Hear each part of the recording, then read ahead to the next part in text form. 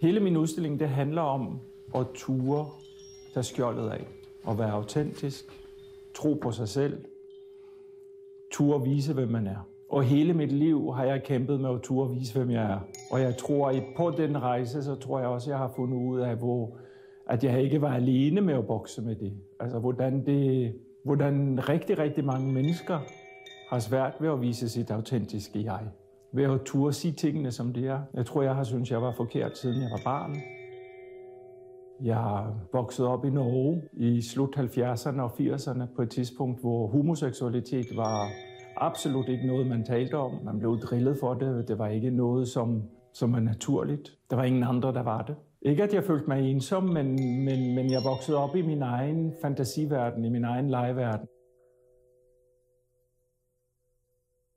Hele den her proces har handlet om at finde skønheden i det. Altså finde skønheden i alt, hvad man er. Den her udstilling, som jeg nu har i Nikolaj Kunsthal, det er første gang, jeg ligesom skal vise en anden side af mig selv. Jeg har, har arbejdet på den her udstilling i halvandet år, og formålet var jo at, at, at virkelig arbejde instinktivt, finde tilbage til noget uspoleret.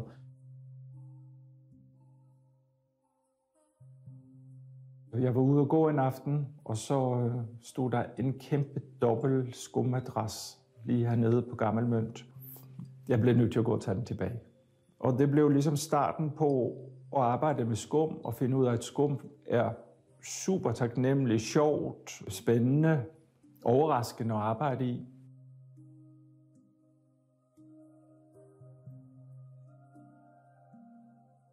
Og så begyndte jeg jo at finde tekstil, genbrugstekstiler. Jeg var så heldig at møde en pige, der havde arvet et kæmpe lager af, af garn fra 70'erne og 80'erne. Så en masse genbrug og vintage, deadstock garn. Ting, der, der har haft et liv før. Ting, som kan overraske, fordi at, øh, det så pludselig kommer i en ny form øh, for et nyt liv.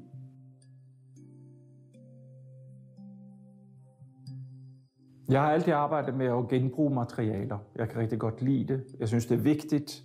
Der er så meget på den her jord, så hvorfor tilføre det noget nyt, hvis du kan bruge noget, der allerede er? Jeg synes, det er inspirerende at bruge noget, der allerede er.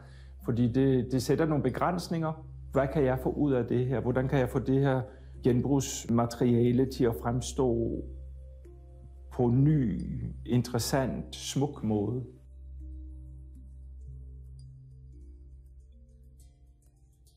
Jeg arbejder meget, meget målbevidst mod at være så fri som muligt, at være så ukritisk som muligt. Derfor så har jeg jo også skabt udstillingen i Nikolaj Kunsthal i det, i det smukke rum i Øvre Galeri, som er et smukt gotisk rum, Vi har lagt tæppe på i hele rummet, 300 kvadratmeter turkist tæppe. Du tager din sko af på det her væg til væg guldtæppe. Alle skulpturerne er, er stillet på podier, som er beklædt i samme guldtæppe for at skabe den her renhed, for at skabe en oase i en blå ørken. Og så er der komponeret særlig musik til udstillingen. Andreas Hyttel, som øh, har skabt meget, meget smuk musik baseret på solfeggio-frekvenser, som er frekvenser, som man har kendt siden meget gammel tid, og som arbejder både på det bevidste og det ubevidste. Ja, mit mål om, at det har, at det har hilende effekter på både krop og mental sundhed. I Tongalleriet så rekonstruerer vi en del af mit øh, værksted. Og jeg kommer også til at sidde i tårnværelset og arbejde nogen på udvalgte tidspunkter. Øh, så det bliver meget spændende. Jeg glæder mig til at møde publikum og se deres reaktion. Jeg håber, vi, vi, vi formår at skabe den dimension, det, det sted, hvor, som kan give følelse af frihed, som kan give følelse af, Ikke at diskriminere, ikke at være dømmende, som kan inspirere til at være en lille smule mere den, man er.